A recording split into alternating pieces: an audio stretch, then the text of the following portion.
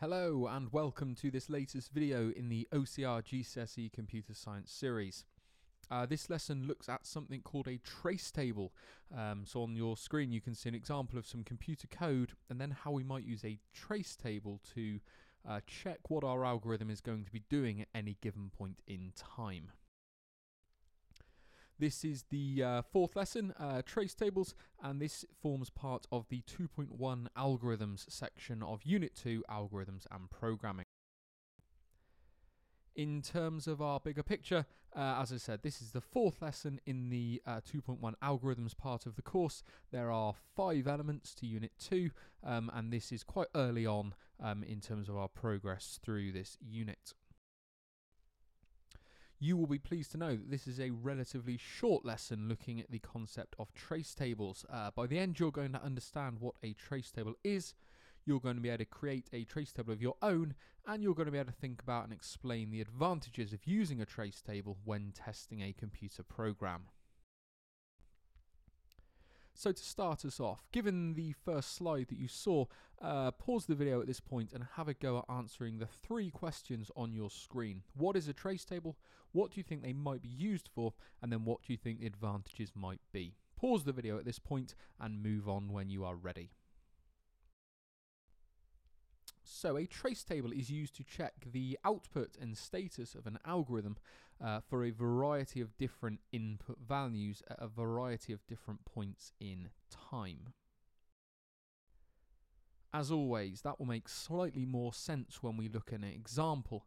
Um, so when we test a complex uh, algorithm, uh, it's sometimes necessary to check our program with a number of different inputs. If we're creating a program to work out whether numbers are even or not, just checking the number 6 probably isn't good enough in terms of our testing. We're going to want to check with a range of different numbers, uh, high numbers, low numbers, even numbers, and odd numbers.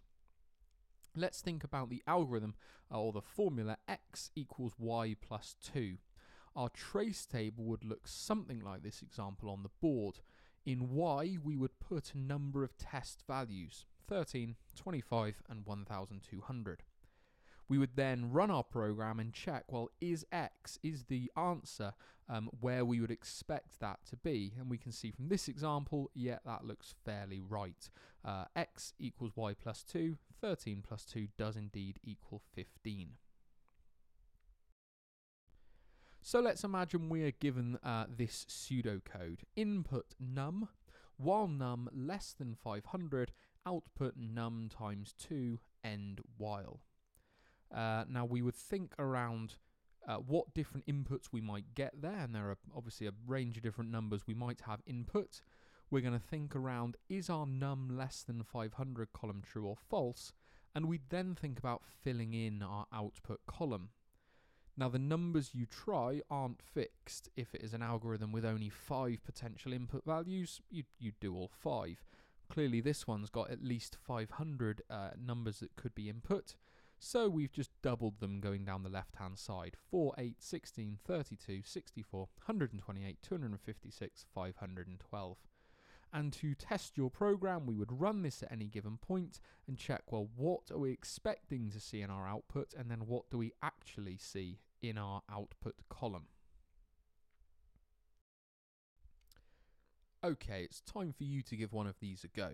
So let's imagine the following pseudocode i equals 0, for i to 5 as num, x equals num minus 1, print num times 4. Complete the trace table in your book. Uh, so the i column has been given to you, and for each instance of i, you need to complete well, what's the value of x going to be, and what's going to be output from this program. Pause the video at this point and complete that trace table in your book. So here are your answers for this one. Uh, x is going to be minus 1 the first time round, going up to 4 at the end, and we're then multiplying that by 4. So our output, the only print we're given, that's the only output from this program, is our numeric value, minus 4 to 16, uh, going down the right-hand column. A slightly tougher example here uh, i equals 0 for i to 5 as num. If num is even, uh, print even. z equals i plus 5, print z, end for. So we've got a couple of columns there. We've got if num is even, and now that's going to be a true or false value. Is that true or not, or should it be returning true or false? Z, and then what's going to be output. Now, maybe that in certain columns you are going to have more than one output. Pause the video at this point and give that trace table a go. Here is the answer for that one. Uh, the if num is even should be fairly straightforward. It's true for 0, 2 and 4 and it's false for the others. Z is then calculated. Now if the number was true, we've got two outputs. We've got the word even and then the uh, variable of Z. If not, we've just got the variable Z being printed out in Python, it would automatically put it on two different rows as those are two different print statements. If you put even and 5 on the same row, that's not, not a problem at all. Uh, it depends on which high level language you are considering when you look at your uh, pseudocode. Uh, another example, imagine we're given the following pseudocode. Now in this example I haven't given you a trace table.